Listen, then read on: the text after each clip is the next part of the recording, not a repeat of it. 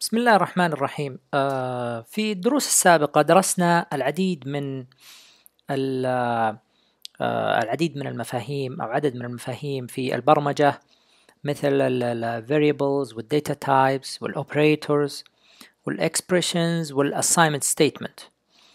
آه، وفي هذا الدرس إن شاء الله راح نشوف كيف نستخدم المفاهيم هذه اللي درسناها أو الأدوات اللي درسناها هذه كيف نستخدمها حتى نكتب آه، برنامج نحل فيه آه، مشكلة آه، برمجية.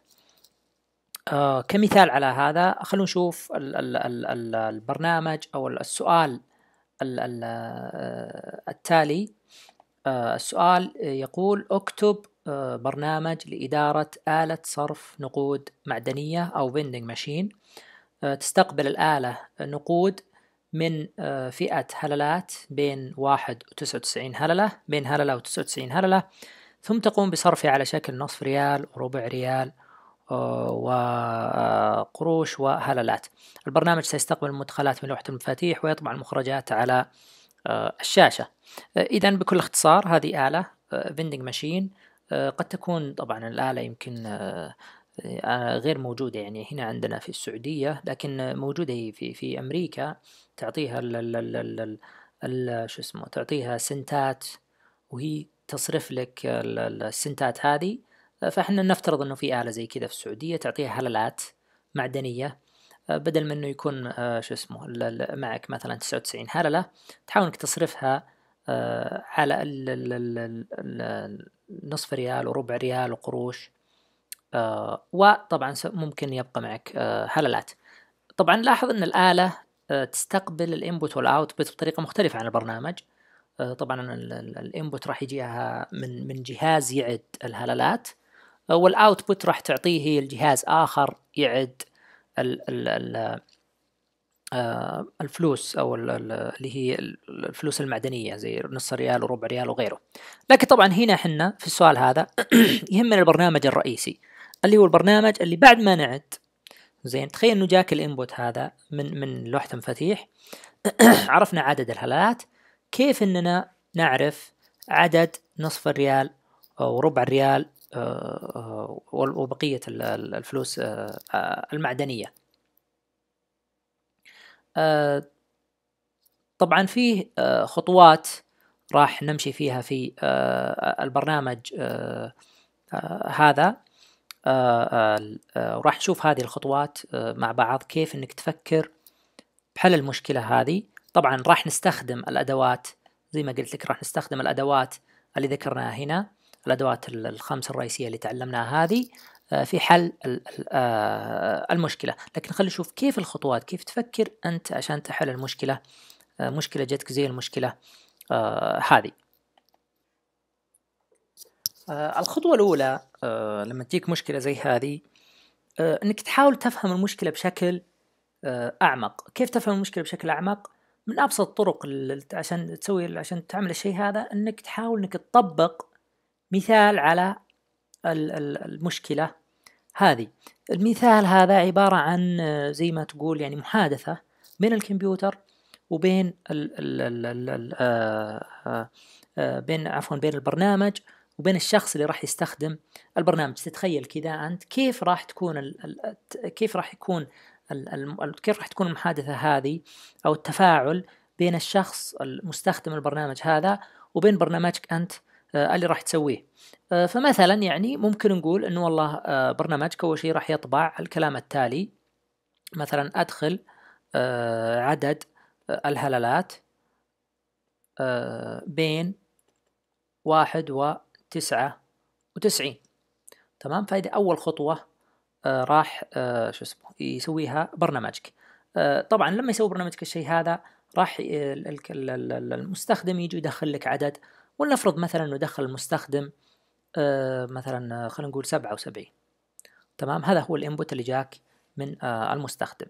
زين؟ آه وش الخطوة اللي بعدها؟ برنامجك طبعا راح ياخذ العدد هذا وراح يحلل العدد هذا أو يقسمه يحسب كم فيه من نصف ريال آه زي ما قلنا هنا كم في من نصف ريال كم في من ربع ريال كم في من قرش كم في من هللة. فخلينا نشوف مثلا برنامجك راح يطبع الشيء التالي راح يقول آه آه مثلا النقود ستكون كالتالي مضبوط أو شيء زي كذا. النقود آه هي آه كالتالي. مثلا آه عدد نصف ريال يساوي كم يساوي طبعا؟ كم النص ريال عندنا هنا؟ راح يكون عندنا نص ريال واحد. مضبوط؟ وهنا طبعا حاجة مهمة جدا. لاحظ إنه يا يكون عندنا نص ريال واحد أو ما يكون عندنا نص ريال. واضح جدا طبعا. لأنه العدد هلالات بين واحد وتسعة وتسعين لاحظ إن الآن من خلال إن نسوي المثال نفهم أكثر وأكثر. نقول هنا عدد ربع ريال يساوي آه واحد برضو. لأن الآن لما يروح نص ريال يبقى لك من السبعة وسبعين سبعة آه شو اسمه سبعة وعشرين. تمام؟ فلما يروح من النص ريال واحد يبقى لك سبعة وعشرين هللة آه ف آه، سبعة وعشرين هللة هذه فيها ربع ريال آه واحد. طبعا يبقى لك هنا هللتين. مضبوط؟ راح خمسة وعشرين هللة يبقى لك هللتين. آه هنا إذا عدد القروش مضبوط؟ اللي هو القرش عبارة عن عشر هللات عدد القروش يساوي صفر. لأن ما راح يبقى لنا ولا قرش. وأخيرا عدد الهللات آه يساوي اثنين راح يبقى لنا هللتين تمام؟ إذا من خلال المثال هذا مثال عبارة عن آه تخيل كيفية كيف الحديث أو التفاعل بين المستخدم وبين برنامجك آه قدرنا نفهم المشكلة بشكل أفضل بكثير. إن راح نقسم شو اسمه راح ناخذ العدد اللي يجينا من المستخدم وبعدين بعد كذا نبدأ نقسم آه، العدد هذا أول شيء نص ريال بعد كذا نقسمه ربع ريال بعد كذا قروش بعد كذا آه، هللات طبعا وش نستفيد من من المثال هذا؟ مثلا من أبسط الأشياء اللي ممكن تستفيدها الآن من المثال اللي موجود قدامك إنك تعرف ال variables اللي راح تستخدمها في البرنامج. طبعا برنامجك راح يحتاج variables طيب السؤال وش ال variables اللي راح تستخدمها؟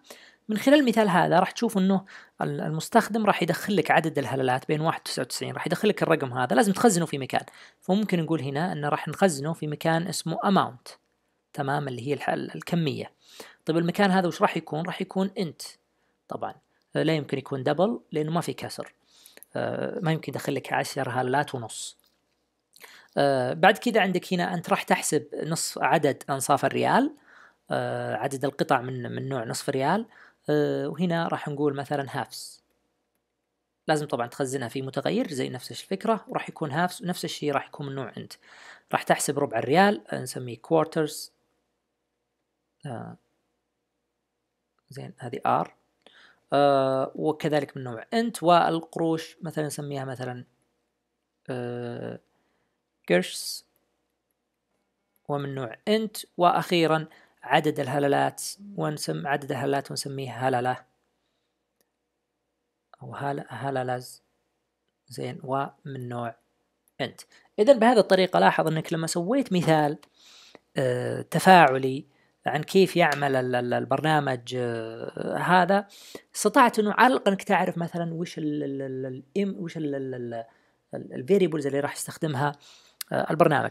وهذا طبعا آه، ك software engineering كهندسة برمجيات آه، هذه طريقة معروفة جدا في هندسة برمجيات إنك إنك تحاول تسوي scenarios كيفيه عمل البرنامج حتى تفهم البرنامج بشكل أفضل. فاذا هو صحيح إن البرنامج هذا صغير لكن نفس الفكرة هذه لو إنك درست فيما بعد هندسة برمجيات راح تلاحظ إن الفكرة هذه تطبق بشكل أكبر بكثير وعلى المستوى اوسع بكثير لفهم البرامج الضخمه آه، آه، سواء للشركات أو غيرها. في الفيديو القادم إن شاء الله راح نشوف وش الخطوة التالية بعد ما أننا الآن صار عندنا فهم للبرنامج قدرنا على الأقل نعرف الفاريبلز في البرنامج السؤال ما هي الخطوة آه، التالية اللي راح نسويها